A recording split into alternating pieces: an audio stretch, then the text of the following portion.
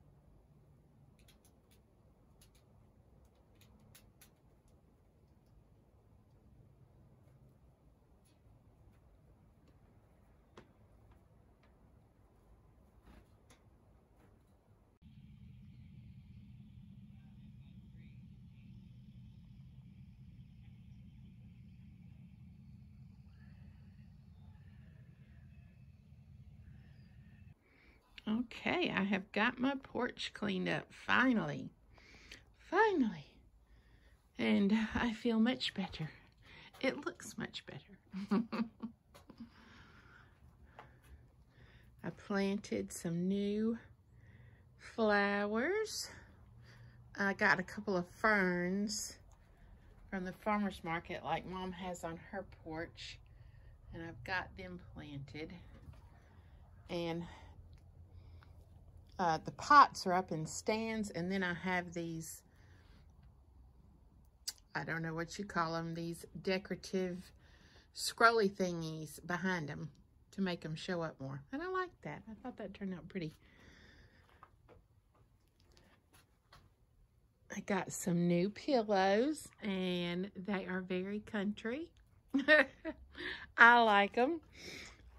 Some might say grandma, but you know, I think they are absolutely beautiful and they're so colorful. So colorful. Um, I got me a fern. And then in my pots this year, I haven't got my flowers yet, but I'm going to plant herbs. And of course, you know me, I have to have my lavender, especially on the porch so I can smell it. And the herbs smell so good too. Oh, it's just a win-win with herbs. Well, you know, lavender actually is an herb. Did you know that? so I'm going to get some pretty flowers and put, fill in the bare spots. And I did the same thing. I'll show you the porch from this way. I have an actual spring wreath going on over there. and another little sitting area here.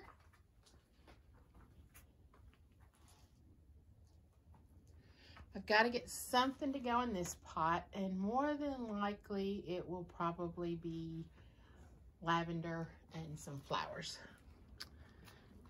now in my big pots this year, um, I put I tried to save the old lavender. I mean, it's actually coming out. So I did that, planted new lavender, and then some good herbs. And what I'm wanting to do is find a really special recipe that uses each one of these herbs individually. I think that would be so much fun.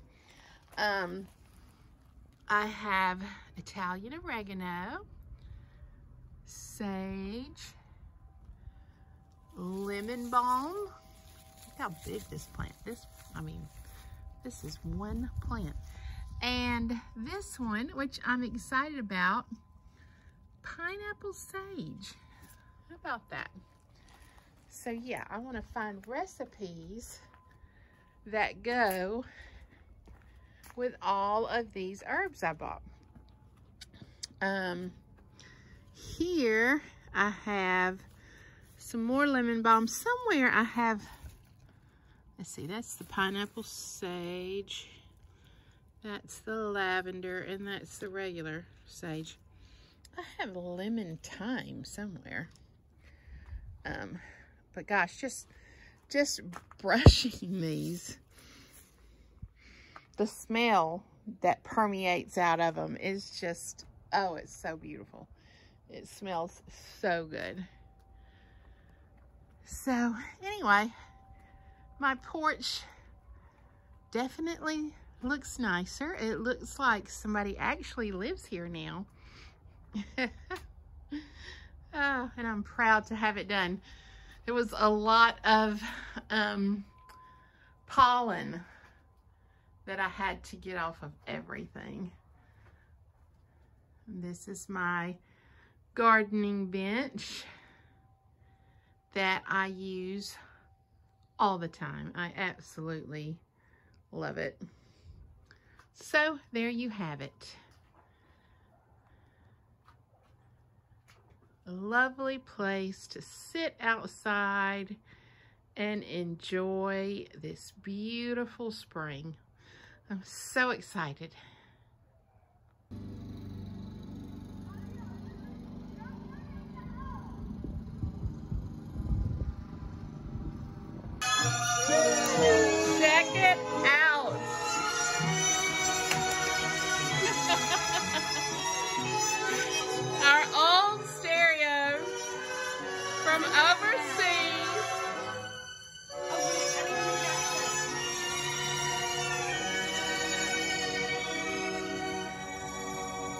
Haley found a record and brought it home and the thing actually works. We didn't even know if it worked or not. And the sound is amazing. Why is it playing different? Because I now? it just to test something. That's how it works. You. Well, no, I was just testing out something. Oh, so it didn't play the whole record. Yeah. Stop. No, there's not more songs, yeah. Chopsticks! I'm gonna cry. This is unbelievable. this is so awesome.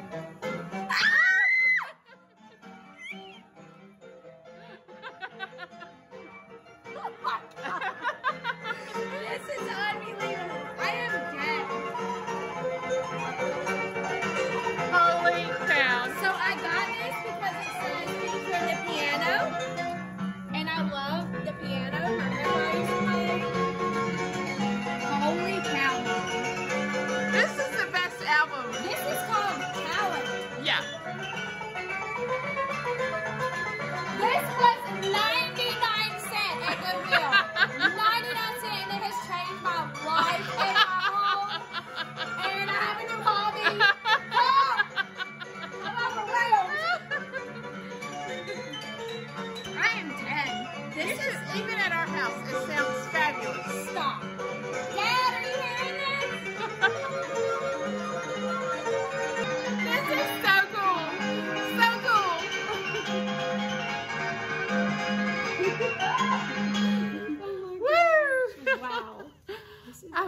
Is awesome.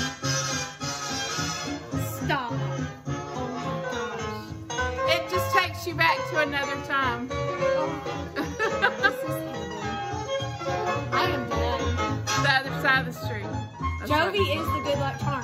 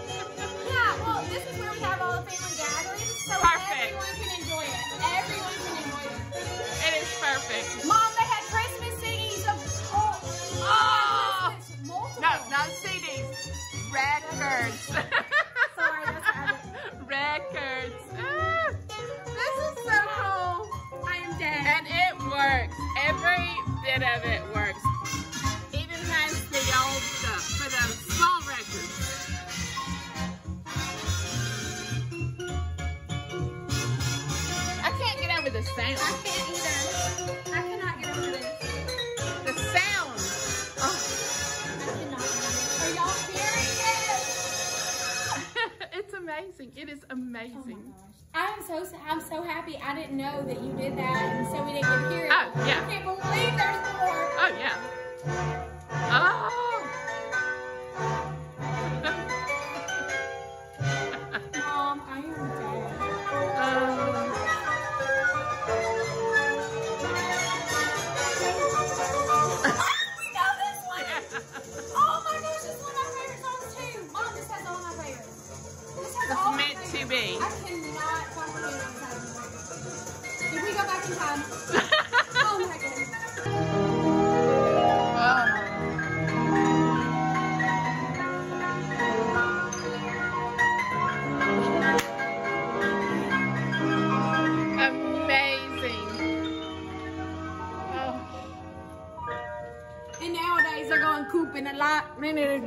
Box. Get the bucket in the box. And you're like, huh? Oh, no, that or this. Where they're going, what? What? What? What? Yeah, exactly. You're like, okay. And then you have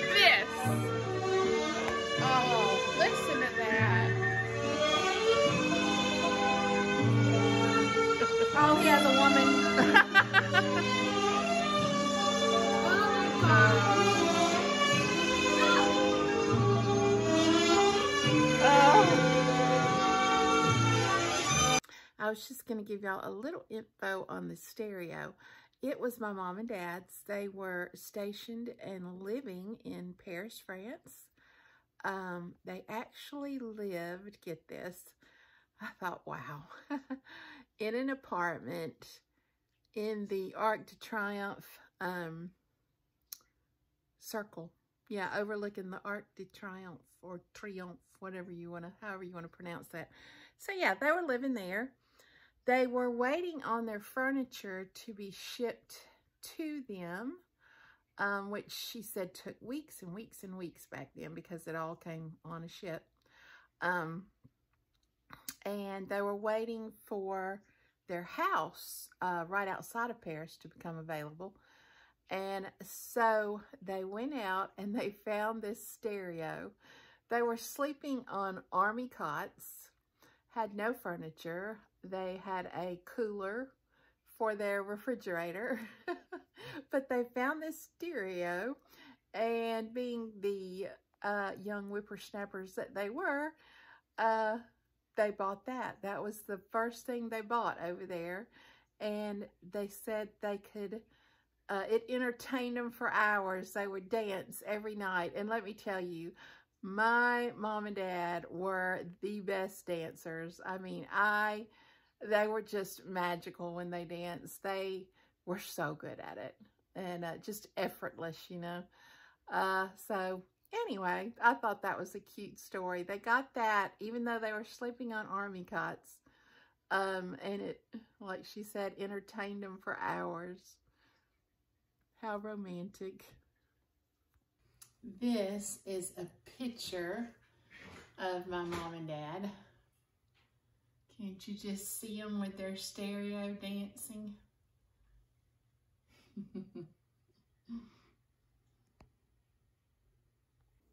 hey everybody, I have got a really easy, easy recipe for y'all. It can be something so easy and quick. You can do it spur of the moment for Easter. And uh, let's just cut to the chase and get to it. I can't wait to see how this turns out. We will keep our fingers crossed because it's so easy. Yes, I know. I keep saying the word easy. Trust me on this. it's easy. All right, here is the recipe. A 20 ounce can of crushed pineapple and a box of angel food cake. That's it. That's the recipe. I told you it was easy. All you do is dump this in a bowl.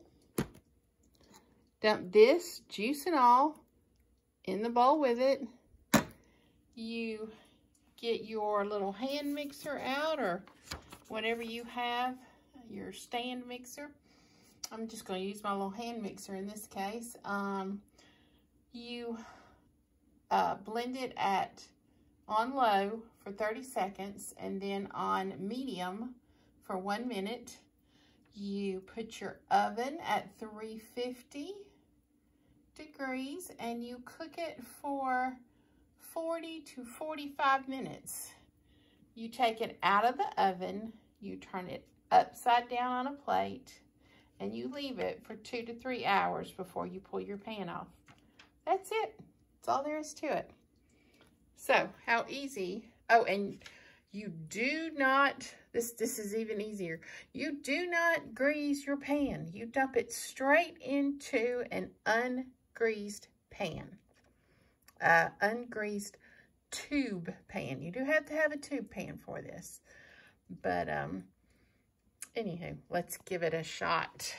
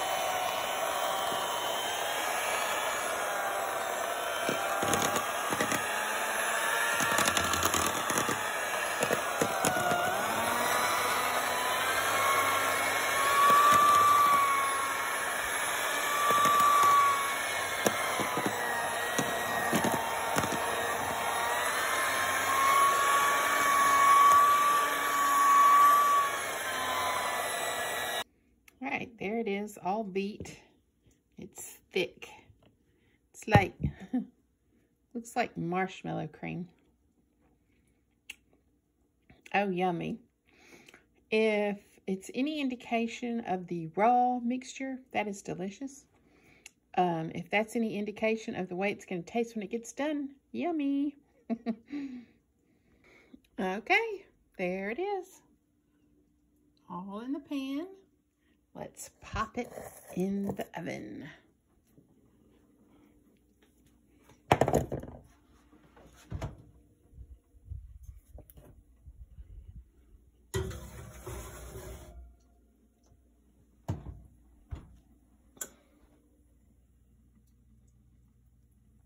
Okay, so that was the quickest and easiest cake I have ever made.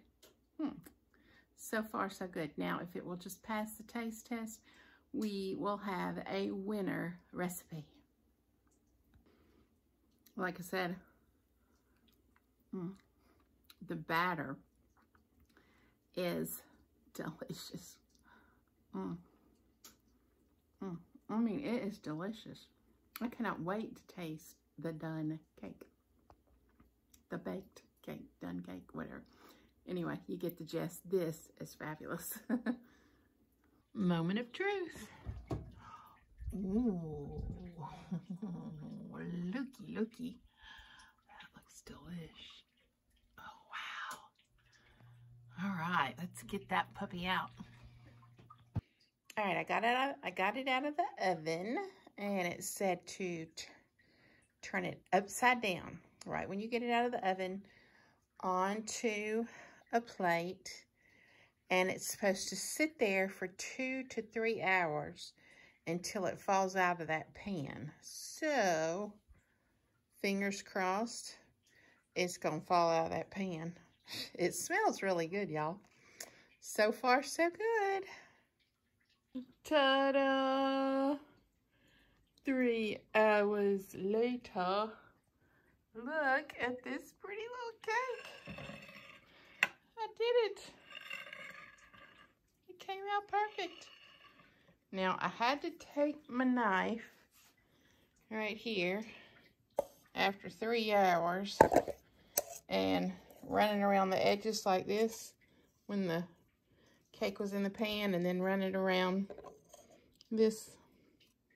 I did that. I tipped it back over and I kind of bonked it on the plate and pop, it popped out. So, it works. Now, all we got to do is the taste test. It smells wonderful. Oh, I'm so proud. Oh.